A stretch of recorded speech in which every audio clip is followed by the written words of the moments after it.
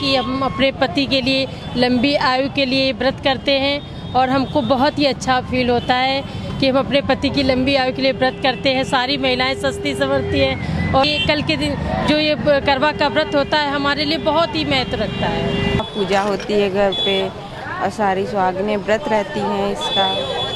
और काफ़ी विधि विधान से पूजा की जाती है इसकी। सुबह से निर्जला व्रत रहा जाता है, शाम को यह व्रत तोड़ा जाता है चाँद देखने के बाद। एवरेज सेल रही है, बाकी शुक्र डूबने की वजह से इस बार मार्केट में जो है थोड़ी रौनक का फ़र्क रहा है।